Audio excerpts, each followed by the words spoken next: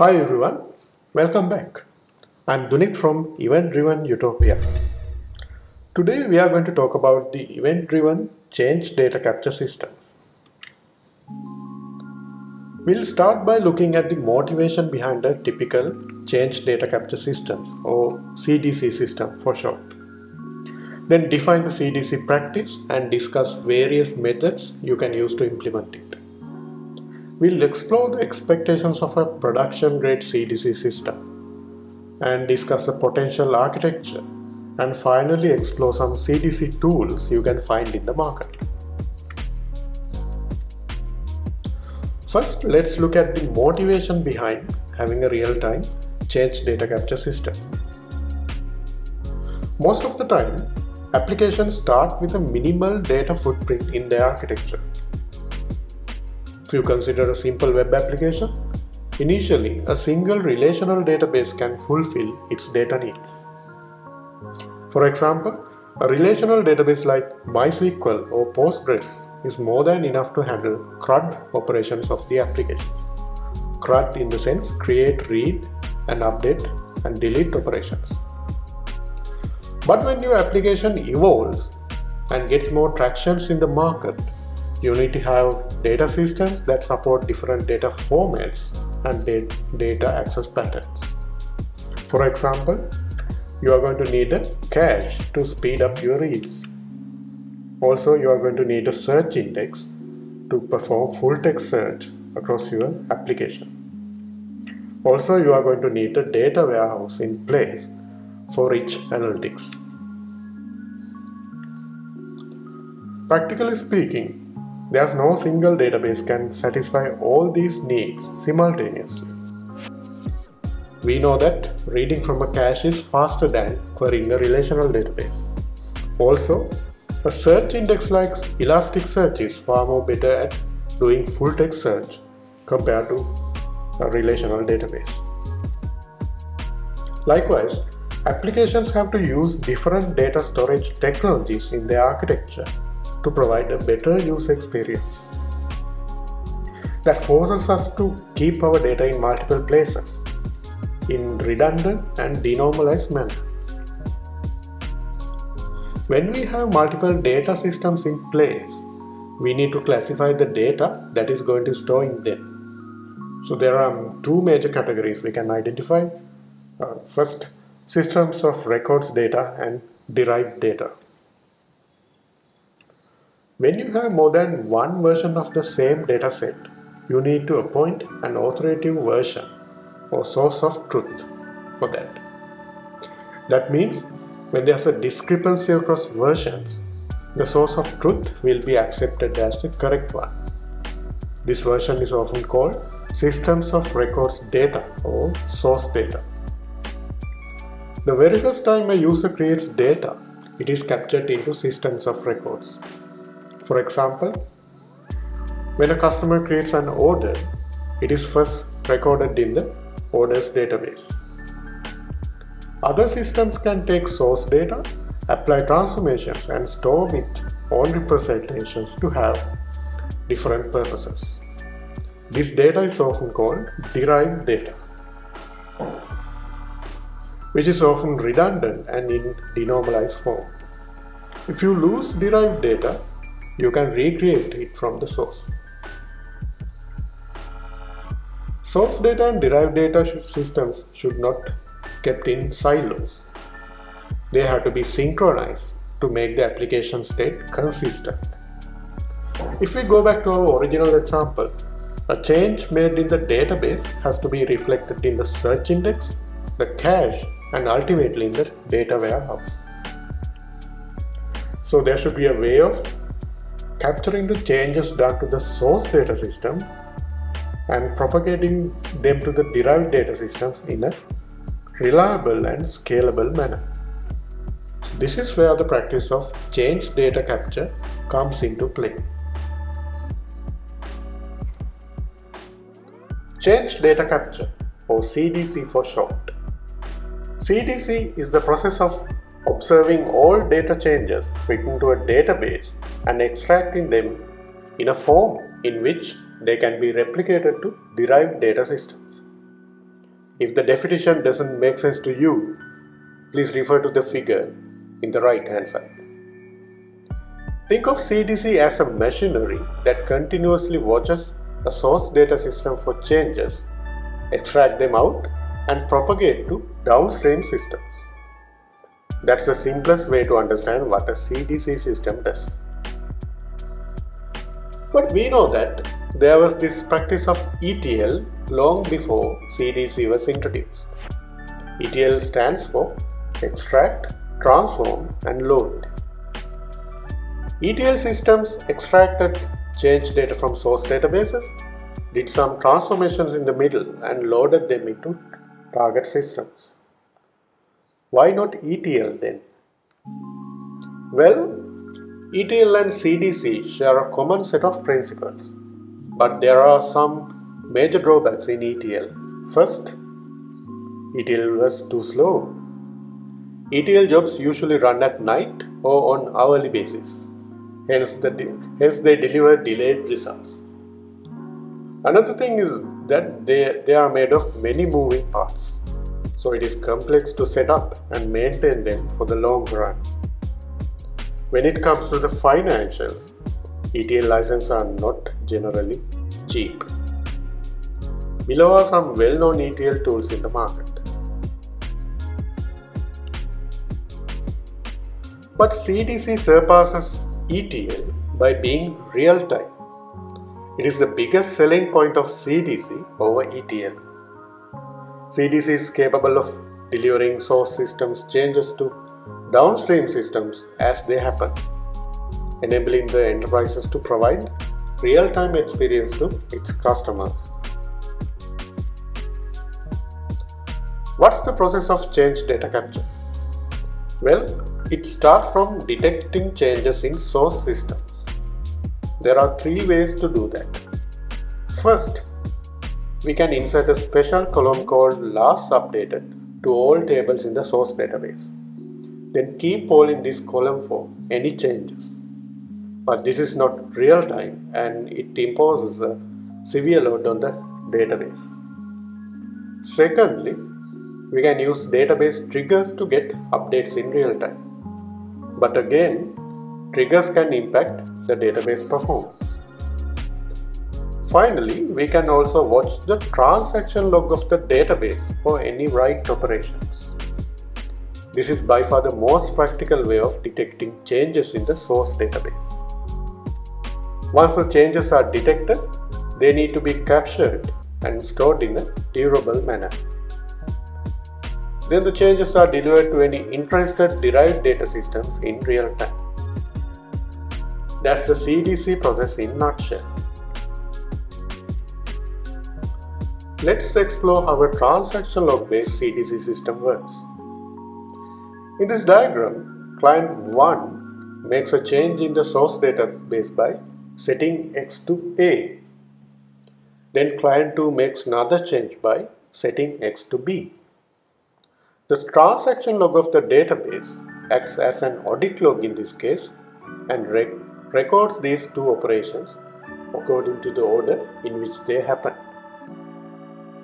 The change detector module in the CDC system detects changes in these transaction log and propagates the changes to downstream applications.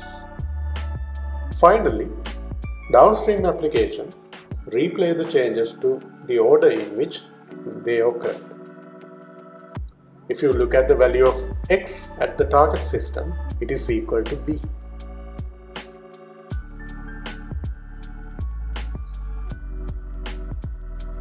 A moment ago, we learned how does the CDC system work.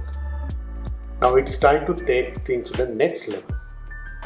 Can we build a production ready CDC system? Well, it is possible, but we need to think about few concerns before we design such a system.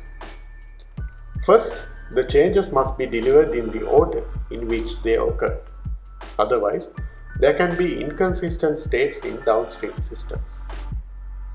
Then the system should support a PubSub style change propagation. That way, downstream systems can be added or removed at any time without impacting the overall system. When it comes to the delivery of messages, delivery guarantees are a must.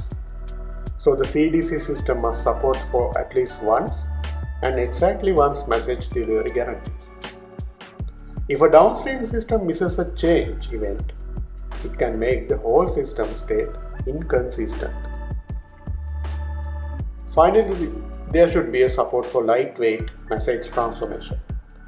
Because data formats expected by downstream systems can be different. For sure, those requirements are difficult to achieve, but they are necessary. What if we borrow certain characteristics from the event-driven architecture? Event-driven has, uh, architecture has already been proven for building asynchronous, loosely coupled and massively scalable systems. We can mix and match certain features of event-driven systems to build an event-driven CDC system like this. Well, we can make a CDC system event driven by introducing an event bus in the middle. The whole thing centers around events here. Soon after a change is detected by the log mining component, it is published as an event to the event bus. When the event bus will take care of propagating the event into interested parties. Before delivering events, change events can be transformed as well. Making this architecture event driven resolves many challenges. Let's have a look at them as we progress more on our discussion.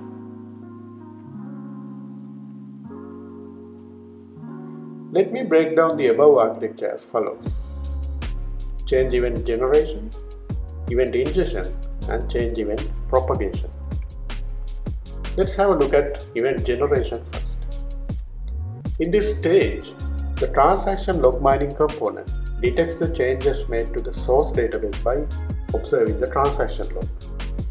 Changes are then formatted as events and then published to the event bus for delivery. Typically, CDC tools have log mining components built for each database vendor. Unlike seed ETL systems, changes are detected and delivered in real time as they happen. Each change event is timestamped and contains only a single change. If there are two operations made to the database, there will be two corresponding change events. In the right, you can see a sample event from Maxwell, which is a popular CDC tool in the market. Second, the change event ingestion. When change events coming in, there has to be a medium to receive them and store them in a scalable and durable manner. This is done by the event bus. Generally, a message broker or event stream platform like Apache Kafka or AWS Kinesis is used as the event bus. But messaging and streaming systems serve different purposes. You should choose the best option that fits well with your solution. For more information on messaging versus streaming differences, please refer to my other video where you can find the link in the description. Event in the middle solves many hard problems in the event-driven distributed system, such as highly scalable event ingestion, fault-tolerant event storage, and event ordering guarantee. Also, it provides at least once or exactly once delivery guarantee. Usually change events are organized into topics in the event bus where they are mapped into unique table in the source database. Third, the change event propagation. In the meantime, downstream systems can subscribe to the event bus in pub/sub manner to receive change events. They can choose which topic they want to subscribe to. Usually, a CDC system provides pre-built consumers to event bus. These consumers read events from topics, apply some transformations in the middle, and deliver them to target systems in real time.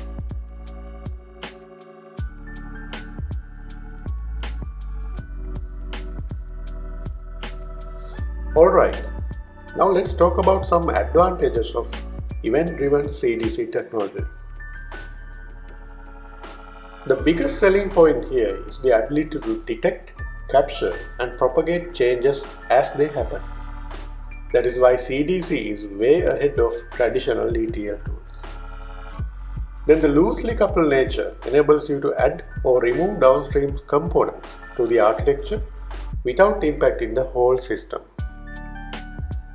The event bus in the middle provides reliable delivery for change events.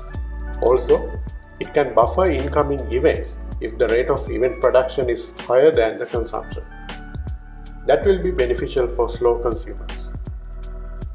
Unlike polling or trigger based methods, the event driven approach doesn't impose a heavy load on the source database. CDC is becoming a hot trend for many use cases that need real-time data synchronization. Here are a few examples. Cache invalidation can be done by replaying the captured change events into a cache like Redis or Memcached.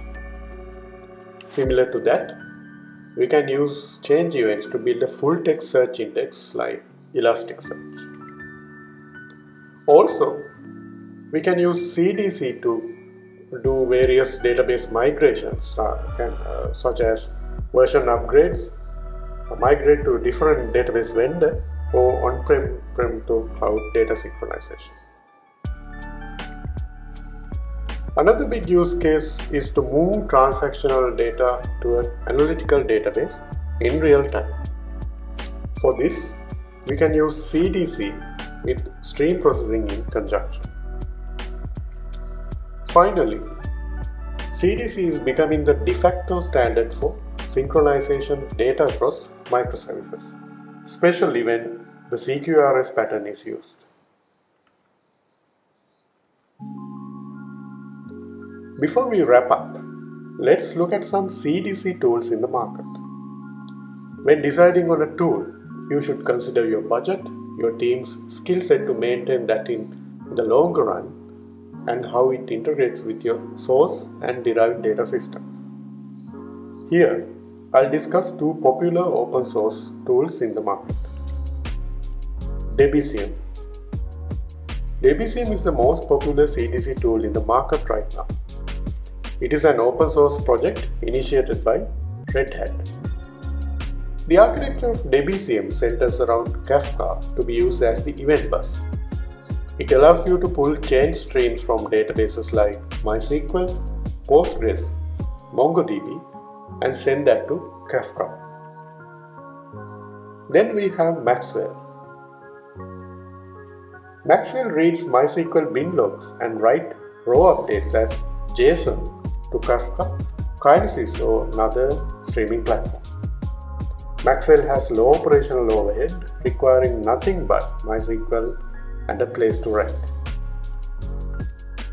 Okay, let's try to wrap things up. Your application architecture has to use multiple data storage systems to cater to different data formats and access patterns. To synchronize source data across these systems, CDC can be used. Being event driven adds more benefits to a production grade CDC system. Alright folks, that's it for today. Thanks for watching. I'll see you with another video soon. Thank you.